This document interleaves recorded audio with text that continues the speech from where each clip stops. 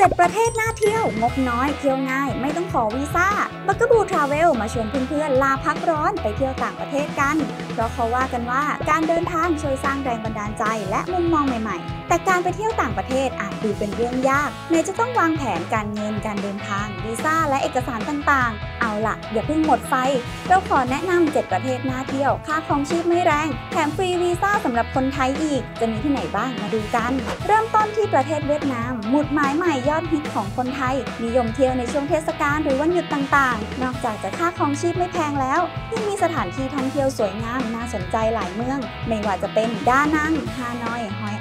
โฮจิมินห์มิงดิง ดาลัด และซาปา ที่สำคัญคนไทยเที่ยวในเวียดนามได้ไม่เกิน 30 วัน โดยไม่ต้องขอวีซ่าเลย สิงคโปร์ก็เป็นอีกหนึ่งประเทศบ้านใกล้เรือนเคียงที่เปิดให้คนไทยคือพาสปอร์ตไทยเที่ยวในสิงคโปร์ได้ 30 วัน โดยไม่ต้องใช้วีซ่า เป็นอีกหนึ่งจุดหมายที่คนไทยนิยมไปเที่ยวมากที่สุด เพราะทั้งเดินทางสะดวกบ้านเมืองสะอาด มีที่เที่ยวสวยๆน่าถ่ายรูป รวมถึงแหล่งช้อปปิ้งและของอร่อยมากมาย อีกหนึ่งประเทศที่เชื่อว่าน่าจะอยู่ในแพลนของใครหลายๆ คนก็คือญี่ปุ่นนั่นเอง เขาเปิดฟรีวีซ่าให้คนไทยเที่ยวได้ไม่เกิน 15 วัน แต่ทุกคนจะต้องลงทะเบียนผ่านเว็บไซต์ Visit Japan ก่อนเดินทางอย่างน้อย 6 ชั่วโมงนะคะ โดยที่ญี่ปุ่นหน้ากากอนามัยยังเป็นสิ่งจำเป็นที่ต้องใช้ในที่สาธารณะเพราะเขายังเข้มงวดในมาตรการโควิด -19 อยู่นั่นเอง ส่วนเกาหลีใต้ก็ฮอตจริงสำหรับคนไทยไม่แพ้กัน เพราะมีจุดเช็คอินกินเที่ยวและแหล่งช้อปปิ้งมากมาย ทั้งโซลอินชอน แทกู ปูซาน และเกาะเชจู ต่างก็เป็นจุดหมายยอดฮิต จะไปกับทัวร์หรือตะลอนเที่ยวเองก็สะดวกสบาย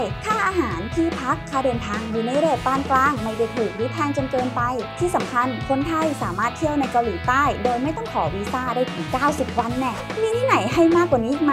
มีจ้ะ ประเทศจอร์เจีย ที่ถือว่ามาแรงในหมู่นักท่องเที่ยวชาวไทยในช่วงนี้เลย เพราะเขาเปิดฟรีวีซ่าให้คนไทยเที่ยวได้นานถึง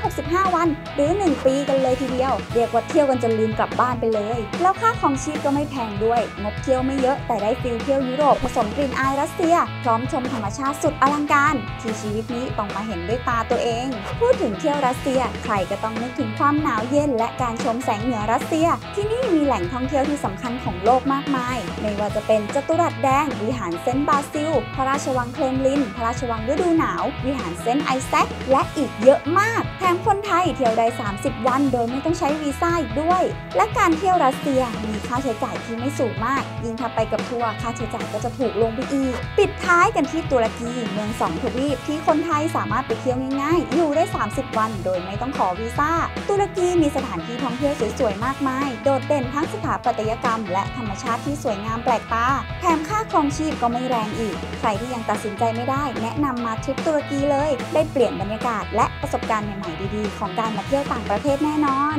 ถ้าชื่นชอบก็อย่าลืมกดแชร์ ติดตามเว็บไซต์ หรือแอปพลิเคชัน b u g a b o o TV กันด้วยนะคะ จะได้ไม่พลาดคอนเทนต์ดีๆใน b u g a b o o TV ค่ะ